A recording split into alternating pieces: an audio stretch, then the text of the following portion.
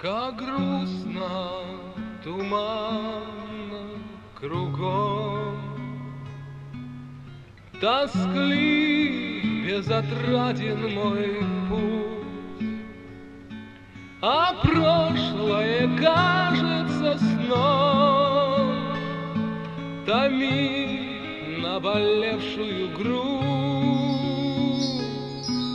Едва я добралась до основного события, когда мой человек создал меня, сумбурную, со мной что-то произошло. Я испытала, так... Я испытала такой силы толчок, словно мною выстрелили из ружья.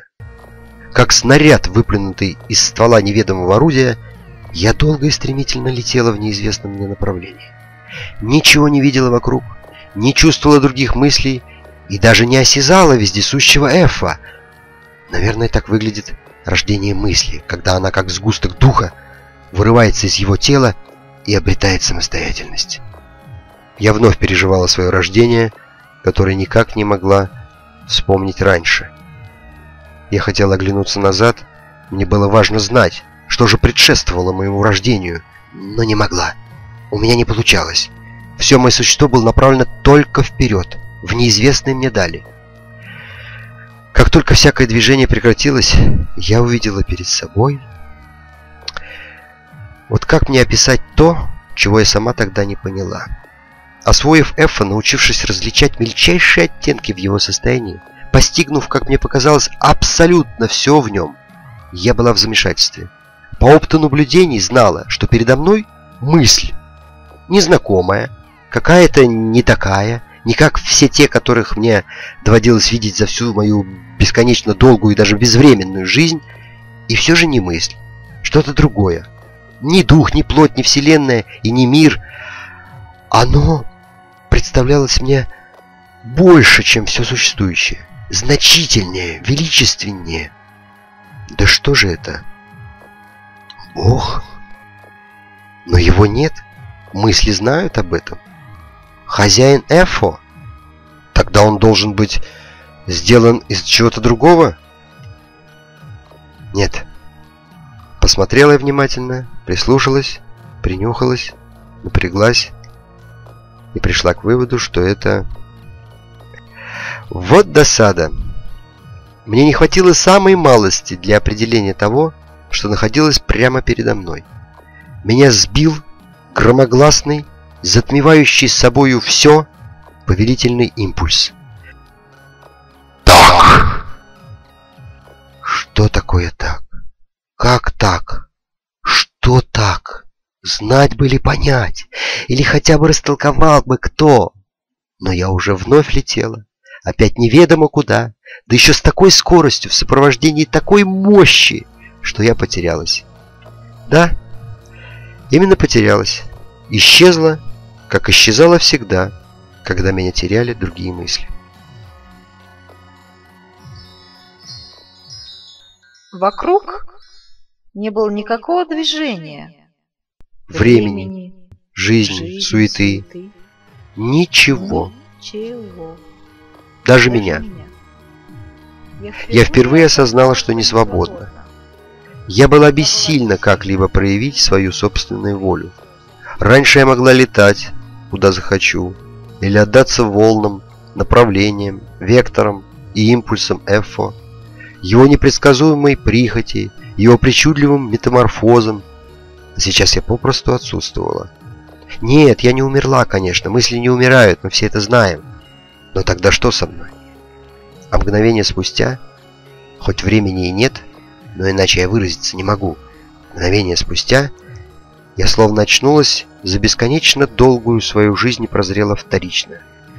В первый раз прозрела, когда увидела, из чего состоит наш мир, а во второй раз сейчас. Уже не сзади, а рядом стояла моя тень. Нет, мой тень. Мысль с мужским знаком. И я уже знал, кто этот тень, зачем он здесь и чей. То могущество, которое я чувствовал в себе, делало меня не просто свободной и всесильной, но наделяло великой осознанной целью, для которой я и была рождена. «Как?» — спросила меня тень. «Ну, конечно же. Этот вопрос он задавал мне всегда, с самого начала. Но я не понимала значения слова «как».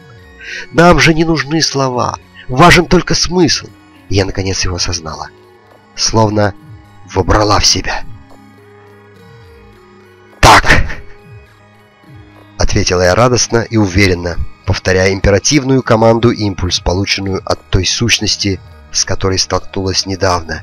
Меня осенило. Сущность это была мыслью с большой буквы. Самой что ни на есть мыслью, но мыслью главной, которая создала Эффа, а из него самое себя. Ее созидательный посыл, ее сущность и заключалась в том, что я услышала «Так». Вот такая короткая, величественная и необыкновенная мысль по имени «Так». Родоначальница всего мира. «Да будет так!» И мы с тенью сделали то, ради чего были рождены. Да будет так, человек, как ты велишь. Мысли сильные, думы крепкие, потаенные. Я, Я Настя, Настя, жена Анатолия. Жена Анатолия. Он, Он моя вселенная. Моя вселенная. Так я его называю, так я его называю любя. Я очень его люблю. Очень. А он зовет меня, моя родная девочка. Раньше в детстве и юношестве до замужества я была гадким утенком. Никто и не смотрел в мою сторону. А столиком я расцвела. Он много фотографирует меня и обклеивает фотографиями все стены квартиры. Мне даже зеркало не нужно. Хожу по комнатам и дивлюсь на себя, как я молода и красива. А он тем более. Ему всего 45, и всегда будет 45. Но вот случилась беда. Он попал в больницу. Неделю назад врачи мне объявили диагноз – саркома. На вопрос, сколько ему осталось, последовал холодный ответ – не более двух месяцев.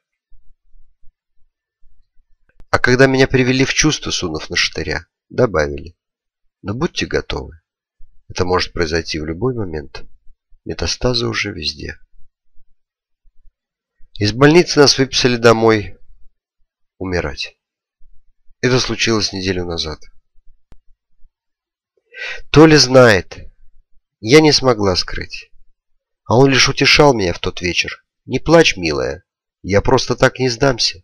Чудеса бывают. Поверь, девочка моя родная. И я поверила.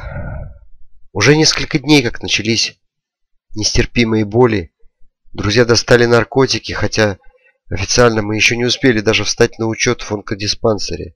Но коробка лежит, вон, не распакованный. То ли запретил ее открывать. Как он терпит, бедненький. Я не сплю которую ночь. Сон только изображаю. Да и он меня обманывает. Впадет на секундочку в забытье, застонет, а потом лежит тихо, делает вид, что дремлет. А я-то слышу как зубы скрежещут. Он уже ходить перестал. Вчера не смог подняться в туалет.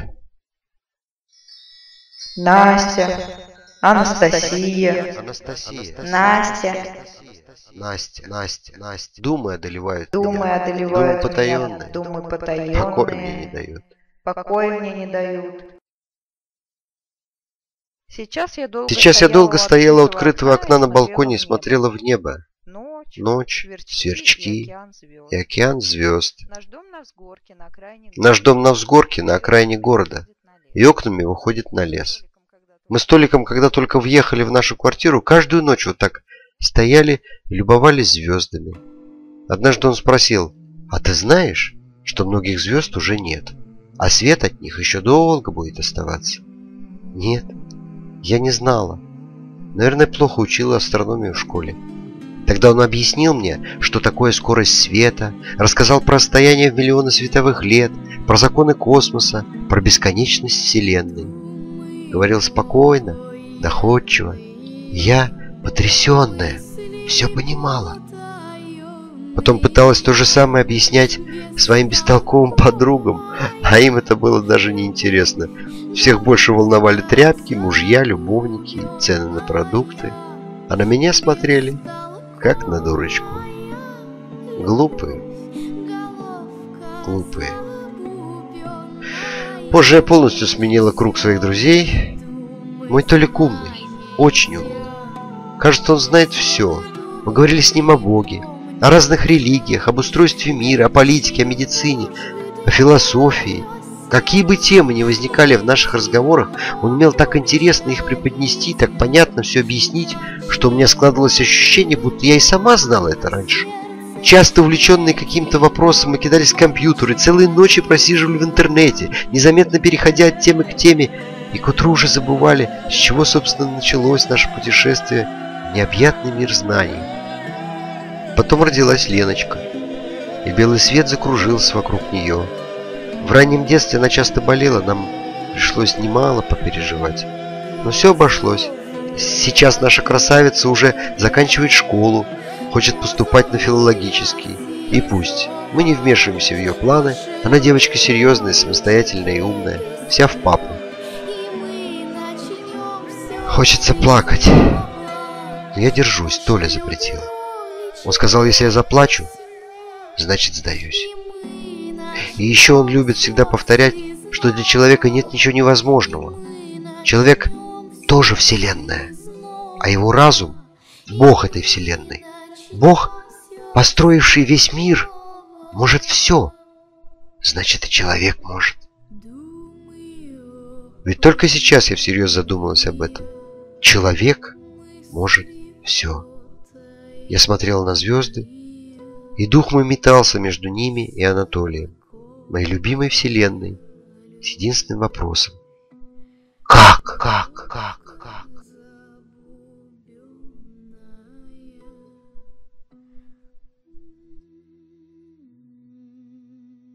Меня зовут Анатолий.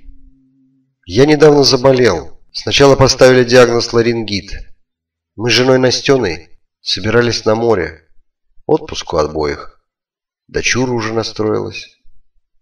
А мне все хуже. Назначенное лечение не помогало. Настенка бодрилась, как и я. Море, мол, вылечит. А тут температура поднялась. И опять по врачам. Перед самым отъездом обнаружилось, что не так все просто. Пневмония. Ну какая поездка? Так и порешили. Мои все на море, а я в больницу. Билет пришлось сдать. Настена, моя вторая половинка, моя второе я, моя тень. Какая она у меня красивая. Я отдавал себе отчет в том, что не все мои друзья так считают. Видел, какие жены бывают у других. И по реакции незнакомых мужчин нетрудно было догадаться, что моя Настя не для всех эталон женской красоты, но мне было плевать на мнение других. Самое главное, что для меня она навечно девушка моей мечты. Я безумно, как привороженный, люблю ее. А когда родилась Ленка, я влюбился в собственную жену с еще большей силой. Да, бывает и такое. Кажется, уже некуда. Потом убеждаешься, сердце и душа дна не имеют. Пока лежал в больнице, понял по реакции врачей, что дело плохо. Что именно плохо, сначала не доходило. Ну, пневмонии, ну и что? Мало ли людей переболело воспалением легких. Помню, у сестры в детстве то же самое было. Вылечили, сейчас абсолютно здорово, даже насморка не бывает. Она, правда, спортсменкой стала, кандидат мастера по конькобежному спорту. Может, какая особенная пневмония? Есть ведь такие?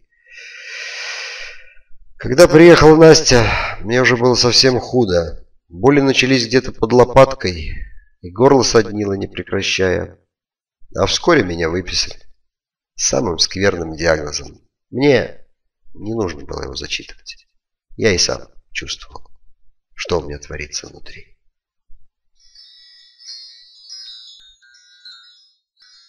Я сумбурная. А рядом, рядом со мной преданный, преданный друг, друг и верный, верный помощник, помощник по имени, по имени Тень. Тень. Я пробудила дух своего человека, растормошила его, точнее ту его часть, что поддерживает жизнь в хрупком и тленном теле моего Создателя. Дух, как сильный гордый исполин, ласково принял меня, я впервые испытала чувство, о котором много слышала, но не представляла, как оно замечательно. Это чувство люди называют любовью. Мне на моем пути немало встречалось мыслей любовных, ласковых, добрых, красивых, великодушных, милосердных. Но я-то была всего лишь сумбурна и величия их не осознавала. А тут испытал на себе. Теперь я понимаю, откуда в Эфа такое обилие мыслей о любви. И какими жалкими на их фоне оказались мысли злые, алчные, хитрые, коварные, мстительные, да мало ли их, да мало ли их, низменных. Но так, очевидно, надо. Эффа не может состоять только из хороших и светлых мыслей, душ, людей, вселенных. Всего должно быть в меру, чтобы не страдала гармония мира. Я не умею жаловаться и ныть. Как бы мне плохо или больно не было, я скорее засмеюсь. Каково это со стороны? Человеку больно так, что можно потерять сознание, а у него из груди вырывается смех. Не помню, как и когда я таким стал. Наверное, еще в детстве. Бывало, когда дворовые разногласия решались жестокими стычками, я оказывался физически слаб. Меня били. Я сопротивлялся, но победить соперников не мог. Тогда и родилась моя первая улыбка-насмешка прямо в лицо. Глядя в глаза победившему и злорадствующему врагу, я ухмыльнулся. И получил еще. Но оставался несломленным и гордым, потому что я все равно сильнее. И враг мой это понял. Вот и сейчас болезнь съела меня физически, проникла в кости, в позвоночник, в спинной мозг, перегрызла все нервы, чтобы я не мог двигаться, чувствовать, дышать и жить но улыбаться хотя бы одними губами, глазами, мыслями. Лишить меня этой возможности она не в силах, потому что я сильнее ее. Настя мне что-то говорила, я уже не слышал, а только чувствовал ее состояние, безудержного страдания. Она, наверное, смотрела на меня, но я не видел, хотя старался держать глаза открытыми. Не знаю, получалось ли. Ее руки прикасались к моему лицу, об этом я только догадывался. Через какую-то жуткую стоматологическую анестезию. Я хотел приободрить ее и больше всего опасался, что она заплачет. Сначала одна горячая слезинка Насти упала на мое лицо, потом другая. Я лишь предполагаю, что горячая. На самом деле я уже ничего не ощущал, только видел натужным внутренним взором, как вибрирует влага на любимых глазах, а потом капля за каплей слезки начали срываться с век моей маленькой родной девочки. Какие-то сумбурные мысли зародились и заклубились в моей голове отчаянно тормоша угасающее сознание. Вот только какие! И куда они так стремительно уходят? Уходят. Щемящее чувство обиды и невыразимая боль за мою Настенку и дочку Леночку переполнили меня.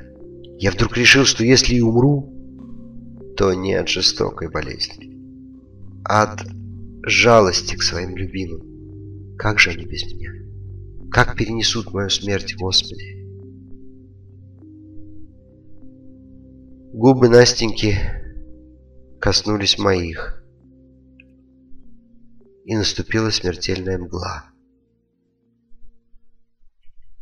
Наверное, я все же умер.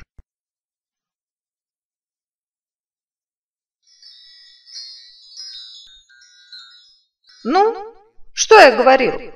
Нашла я его, моего создателя. Вот, вот он лежит, умирает Горемыка. Мучается от страшной боли. Мучается, но терпит, а в душе А в душе... Любовь, любовь и сострадание. А еще, и это, пожалуй, главное, сила, такая сила духа, что вытянула меня, сумбурную из небытия. Лена, дочка наша, в соседней комнате. Наверное, спит. Она наплакалась за последние дни и ночи. Я не могла этому Я не могла этому воспрепятствовать. Папа, Папа видел ее опухшее от слез лицо, лицо, но делал вид, но делал что, вид не замечает. не замечает. Между нами установилось негласное правило не показывать всех своих чувств. Может, это и дикость. Но так хотелось Толе. Сама не знаю, почему я сегодня произнесла пытаясь кормить его с ложечки, «Ты не можешь знать, что готовит тебе будущее», — сказала твердо, с уверенностью, но тут же все испортил. Заплакала. Может быть, я на секундочку засомневалась, что то ли по-прежнему крепок духом, а он шевельнул рукой в ответ. Я поняла. Он хотел погладить меня по голове, как делал это часто в последние дни, но сил уже не оставалось. Только в глазах мелькнула ободряющая улыбка, пока веки не закрылись. И я увидела. Он не сдается. И знает что-то такое, о чем не успел мне рассказать. Ни тогда, когда мы сливались с космосом, стоя на балконе в обнимку, ни сейчас, в эти жуткие дни борьбы за жизнь. На секунду мне стало обидно, что я не во все тайны была посвящена Анатолием, что хоть одну, но все же он оставил при себе. И тут же укорила себя за такие мысли. Мне вдруг показалось, что эту, самую главную тайну, он узнал только что, оказавшись на самом краю. На самом краю. Ложка упала на пол, пронзительно звякнув. Я гладила любимые руки, сжимала их ладонями и пыталась согреть, но тело стремительно остывало, и мраморная кожа начала покрываться какими-то жуткими синюшными пятнами. Мне стало страшно, мне стало больно. Я заплакала, а значит сдалась. Слезы капали на лицо моего любимого, родненького Толечки, а я смотрела на растекающиеся по его щекам капли с какой-то глупой надеждой, что отогрею мою вселенную слезами. Мне стало стыдно за слезы. Я зарыдала в голос, и упала вниз лицом. Наверное, горе одолело меня и свело с ума.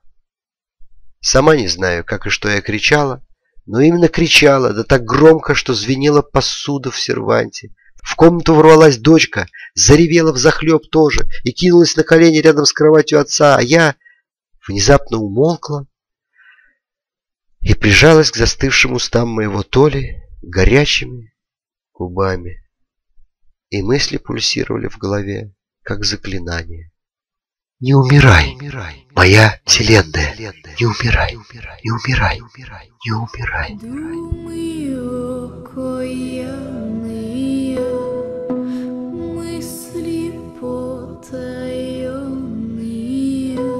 Сумбурная мысль, едва родившись в угасающем сознании мужчины, наконец смогла увидеть меня, своего упорного и молчаливого преследователя. Потому и имя у меня такое — Тень. На самом деле я не тень, а крик. Крик души. Крик женщины, у которой коварная болезнь вырывает любимого человека. Я родился на самом краю, в тот момент, когда все почти кончилось и отчаянно вскочил на подножку последнего уходящего вагона с надеждой и единственной целью – помочь. Только бы Сумбурная не унеслась в самостоятельный и безвременный дрейф. Она же слабая и не помнящая родства. Мне много надо успеть за то крохотное мгновение, которое ей может показаться вечностью. Сумбурная, подталкиваемая мною, обрела плоть и оглянулась. Я не исчез, не спрятался, а произнес свое заветное «Как?».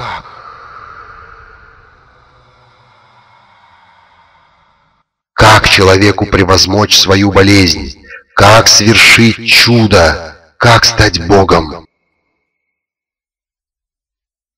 Мне пришлось наблюдать, как мучительно приходит в себя сумбурная после пригрезившегося ей вселенского путешествия, вечного скитания по пространствам мира, поисках источника и смысла своего рождения.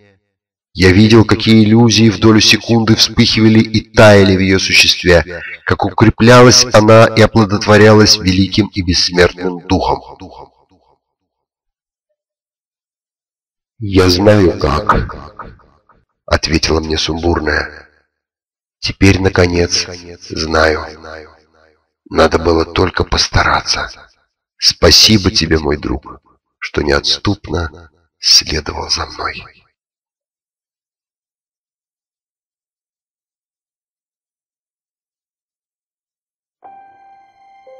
Заведующий онкологическим отделением больницы нерешительно положил телефонную трубку на рычаг аппарата, поерзал в кресле и взглянул на коллегу, профессора кафедры. Тот, сидя на скрипящем стуле, молча барабанил пальцами по столу. «Он отказывается!» — наконец произнес зав. отделения. «Что, не томографию, не рентген? Вообще приходить!» «Я же говорил!» И жену упрашивали, и друга их этого, как его.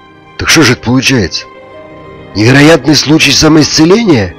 Немного с сарказмом, кривя губы, произнес заведующий. Да брось ты! Брось! Нервно буркнул профессор. И что напишем? Диагноз двоеточие чудо? Заведующий встал из-за стола, кряхтя от остеохондроза, и рассеянно промямлил. Отпишемся как-нибудь. Не знаю, спонтанная ремиссия, отказ больного от терапии. Черт чудо. Чудо. Что говоришь? Не расслышал профессор, трогая кончиком пальца слуховой аппарат. Да ладно, забыли. Забыли.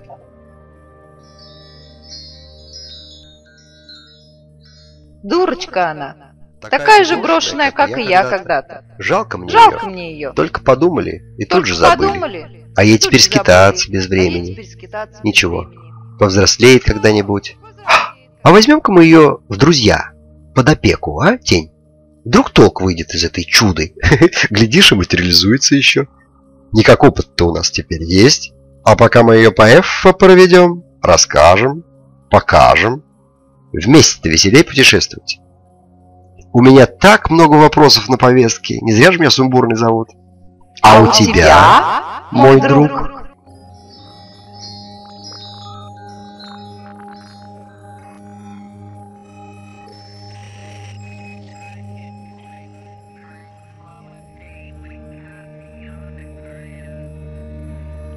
Все было лишь ложь и обман.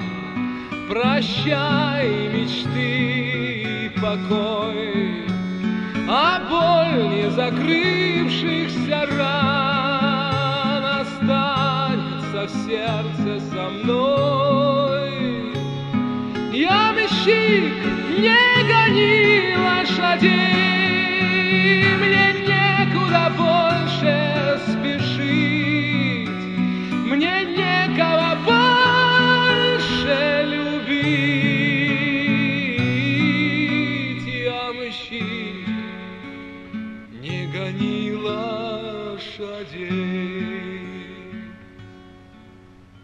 как жажду среди ясных равнин, измену забыть и любовь.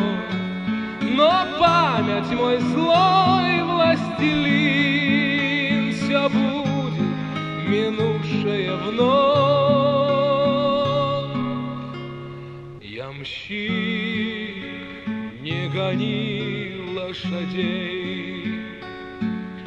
мне некуда больше спешить, Мне некого больше.